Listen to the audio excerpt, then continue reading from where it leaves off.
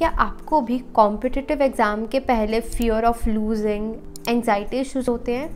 If yes then मेरे पास कुछ tips हैं जो आपके बहुत काम आ सकती हैं। जैसे कि फ़र्स्ट इज़ प्रेपरेशन सबसे best way to overcome that fear is preparation अगर आपकी प्रेपरेशन अच्छी होगी ना तो you will feel confident about it second is practice एक कोट भी है ना that practice makes a man perfect तो जितनी आप ज़्यादा प्रैक्टिस करोगे ना, उतना ही ज़्यादा आप कॉन्फिडेंट मोटिवेटेड फील करोगे कि येस मुझे आता है ये।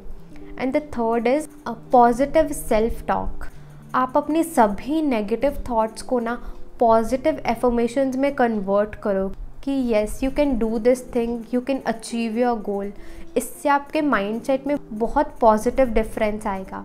And next you can do that कि आप अपने आप को ऐसे इमेजिन करो कि आपका बहुत अच्छा एग्ज़ाम हुआ है, आप अपने गोल्स अच्छे से अचीव कर रहे हो। इससे क्या होगा, आपके अंदर पॉजिटिव एनर्जी आएगी उस काम को करने के लिए एंड आप मोटिवेटेड फील करोगे। एंड आप कुछ टेक्निक्स प्रैक्टिस कर सकते हो, जैसे कि मेडिटेशन डीप ब्रीदिंग योगा जिससे क्या होगा, आपका माइंड रिलैक्स होगा एंड अच्छे से फोकस कर पाओगे आप। And at last and very important आपका पेरस्पेक्टिव क्या है, उस एग्ज़ाम को लेके ये बहुत ज़्यादा मैटर करता है।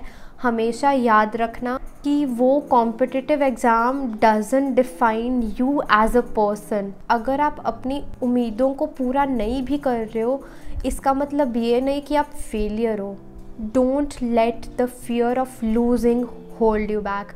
Remember this thing and ace that competitive exam. And at last, all the very best for your competitive exam. And thanks for watching.